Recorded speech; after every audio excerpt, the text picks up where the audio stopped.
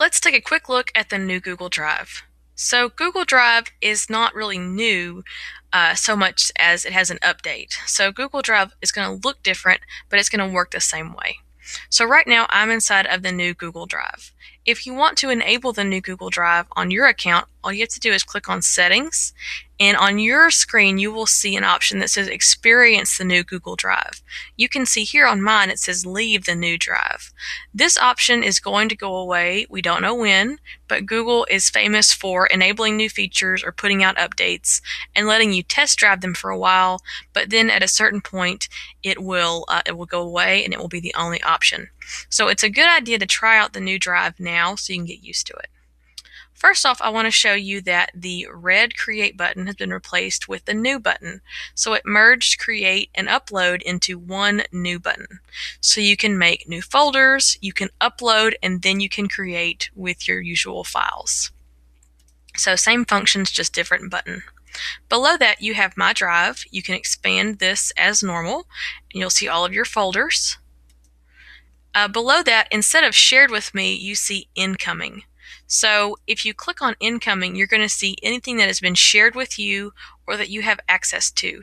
And it breaks it down by date, so by week. So instead of shared with me, we now have incoming. Go back to my drive. Uh, when you're working with your files in the new Google Drive, you see that you do not have the square check button or the star button. Instead, if you want to open a file, uh, you can click once to select it. If you want to totally open it, you double click and it will open that folder or that file. Uh, so when you click once, you'll see that you have uh, some options that appear. You can get a link, you can share, you can delete. If you want to delete multiple items or edit multiple items, you can hold down Control on your keyboard and then click whatever files that you want.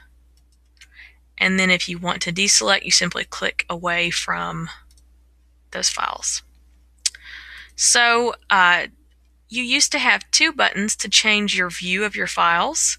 So you had a grid button and a list button. Uh, Google has combined those into one so you can toggle them on and off. So right now I'm in list view so I can scroll down and see a list of all of my files. If I want to see my files in a grid, I can click on the grid button here and now you can see that I have a preview of my files inside of Drive. And I can click to switch back. This button will allow me to sort my files in different ways.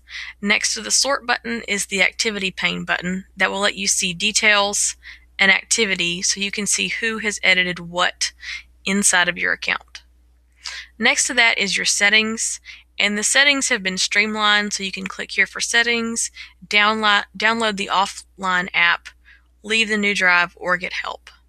So I encourage you to open up Drive and go to settings and choose experience the new drive so you can get a taste for what's coming inside of Google Drive.